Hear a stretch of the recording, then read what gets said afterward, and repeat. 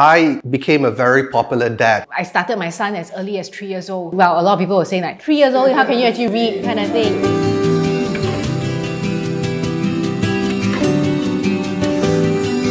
I started my son as early as three years old. There were cartoon series that were on TV. The books were also available. So I actually bought those books and he could actually relate the pictures in the books together with the series. I became a very popular dad in the eyes of my kid because I know that his favorite show is Paw Patrol. So my youngest kid, who's into Paw Patrol, immediately turned off the TV and he started flipping through, which I never seen him do before. Lah. As he was growing up, I actually still keep buying books, titles that were related to TV series that he could relate to. He actually expressed interest in wanting to read comics. So I was like, okay, fine, comics is fine. To me, any form of reading is still better than no reading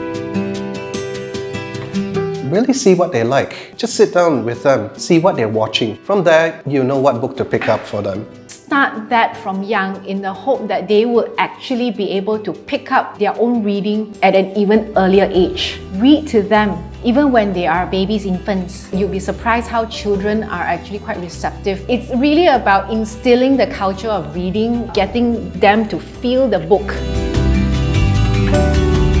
books definitely will help them. It gives them something to do rather than just sitting in front of a screen. It gets them moving. By you flipping the page is an action on its own.